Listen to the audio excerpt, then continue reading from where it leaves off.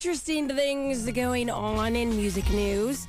Now, let's see, a couple weeks ago, we talked about how before the relationship really got started with 50 Cent and Ciara, that it was over, right? Okay. And also in the album, in Curtis, there's some pictures in there. We don't know if it's Ciara or not. Well, apparently, it's not Ciara. What? And it was rumored that Ciara was upset by the pictures, right? But apparently, after the numbers came out, Kanye West winning 50, even though he's not admitting it, he's upset by that, right? So they've reconciled, they're back together, and he has a home in Atlanta that supposedly they're sharing together when he's in town. Hmm.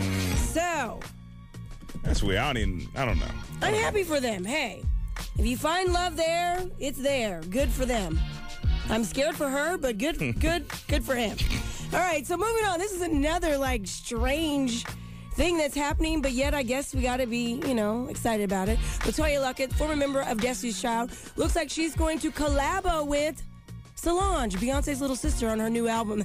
They are so trying to get Solange out there. Whatever they can do, like, okay, let's get Solange in, bring it on, all over again, or whatever. Bring it was. on the DVD. Like, what do they like? salons dude. Like, she was in the family reunion joint with um, Bow Wow. Yeah, she and- was. Then yeah. the House of Deréon ads, and they put her in, like Destiny Child, like Hey. concerts. Like, It no. worked for Ashlee Simpson, so it'll work for um, you know, Solange maybe. So we shall see if that's going to happen. if Latoya Luckett's actually that's just a rumor that they are going to be um Let's see, working together.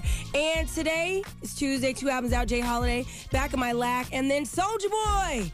Soulja Boy, tell'em.com. That's the name of the album. Remember, you can always watch The Juice on Kube93.com.